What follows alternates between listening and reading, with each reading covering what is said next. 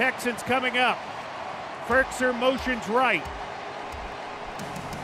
Tannehill stops, looks, looks, fires, man is wide open. Firkser, touchdown, Titans, no flags on the field. Texans set to rush four, they may blitz. Here they come. Tannehill firing, complete, Brown 10, 5, end zone.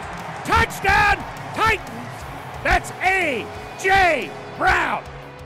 Tannehill sprints out to the right, fires, complete, caught, Westbrook-Ikhine, touchdown, Titans! Three in the first half for the Texans. Ryan Tannehill against the Texans. And the Titans are up 20. Tannehill will drift into the shotgun with Hilliard on his left hip. Three receivers to the right.